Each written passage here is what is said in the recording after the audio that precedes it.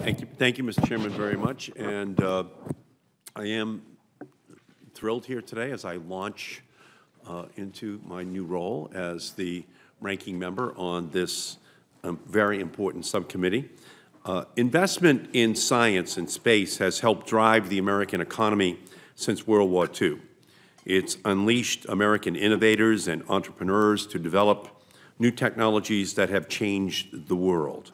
And it has helped us understand the changes in the world caused by human activities that alter the environment and the climate. This subcommittee has an important role to play in ensuring that science and space activities continue to help America thrive. Today's hearing title invokes the frontier. Next month, we'll celebrate the centennial of President John F. Kennedy's birth. Science and space were an integral part of the new frontier that he saw in 1960.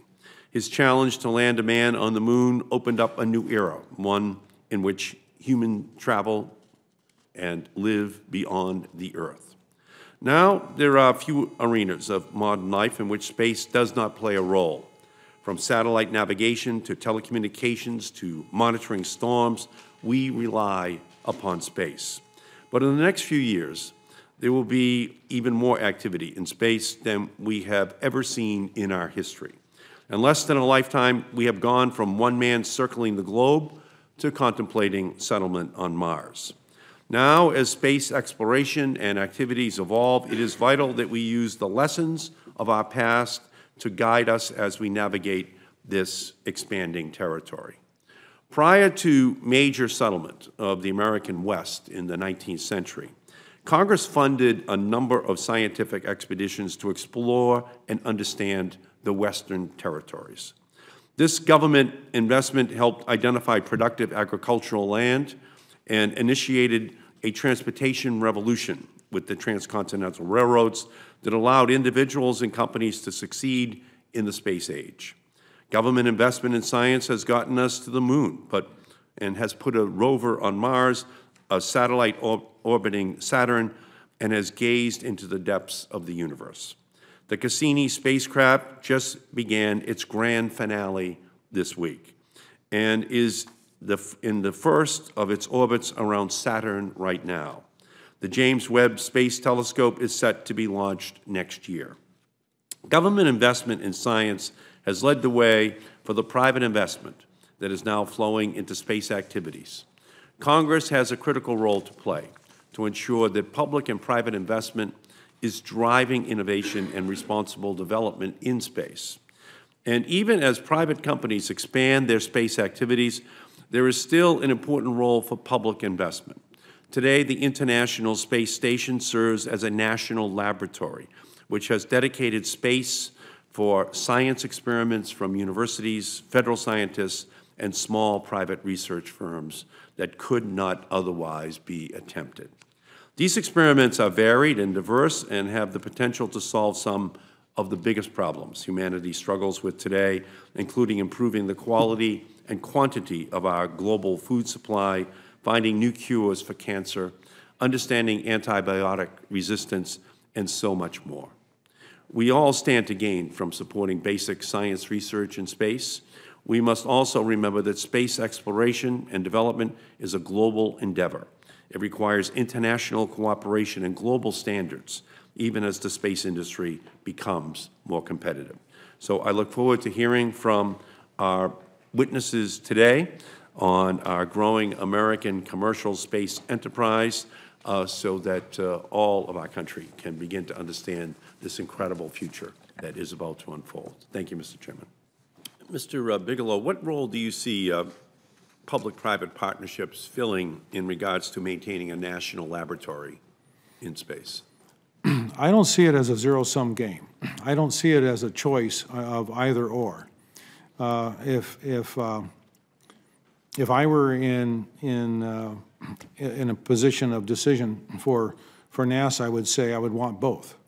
I would want to uh, harmoniously blend the uh, the the obtaining of, of commercial assets uh, under affordable circumstances and reliable circumstances and be accustomed to their operation, acclimate my own corps, astronaut corps to those, those facilities, those platforms, uh, concurrent with the operation of the ISS.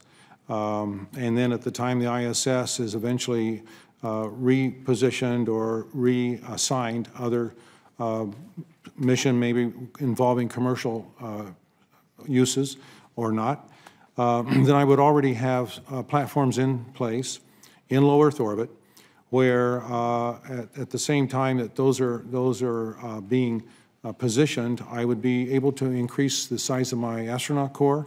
I would increase the size of the population of uh, Johnson Space Center because now there isn't just one platform to monitor and to operate. Uh, There could be three or four or five.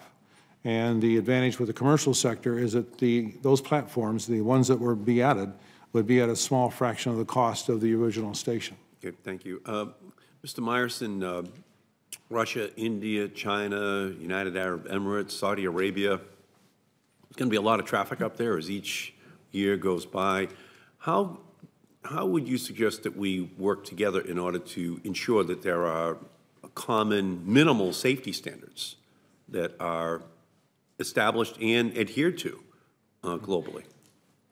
Well- I think the, uh, uh, the FAA is currently doing a very good job of, of developing those standards. Um, And uh, what we need as, as, as space gets global, we need more launch capacity. And so with the long-term vision of millions of people living and working in space, it's going to be not just uh, Americans, but it's going to be uh, people throughout the world that are, that are living and working in space, and we'll need launch capacity to do that. So what I'm, what I'm suggesting and, and urging is a, is a very streamlined process for doing that so that different companies and different countries can demonstrate their, their capabilities and their, that approach. So, And, and what would be, from your perspective, the correct mechanism to use in order to ensure that there is a minimal international safety standard?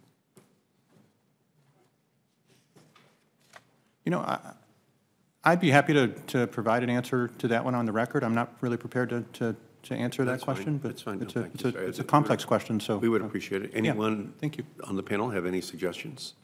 Well, I think initially the philosophy is uh, less regulation is better, while maintaining the context of, of common sense and uh, safety and, uh, and organization, you know. So we, we have, two or three years ago, we, we were working with George uh, Nield and FAST to acquire a policy change within the FAST.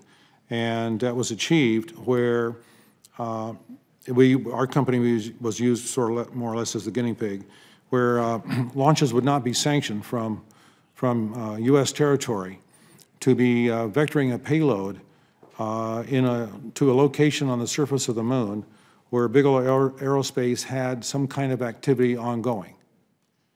And that is, uh, was a policy change. The next step from that is to, uh, in addition to that, would be probably to prescribe a standoff distance, because that was mute, uh, as to if there were, if there were some kind of, of miscalculation in the delivery of that payload, what is the logical standoff distance of safety? Would it be 300 kilometers, 250 miles, whatever, uh, as a radius, so that you have that ge- geographic protection? Thank you. Um, And it may be, uh, I'll just throw this out for anyone who wants to take it. What is the role of the Air Force going forward? Um, Do you see that uh, ultimately being phased out and the private sector will just be in charge of its own responsibilities? Can any of you take that as a question? We would like to see a, a Space Command have a presence in space. We would like to actually see that um, those kinds of assets um, are reached, are accessed earlier than later. We think that the NRL, the FRL, uh, could use those kinds of locations for unique laboratory purposes. Yeah, and I, and I'd like to add, the, the, the urging is on uh, FAA regulation of commercial launches. The, the Air Force, of course, has their own missions that are of a national security nature and would require a different, a different type of, type of uh, oversight, and, and that is absolutely necessary and essential, so, uh, and we'd see that continuing. Great, thank you. Thank you, Mr. Chairman.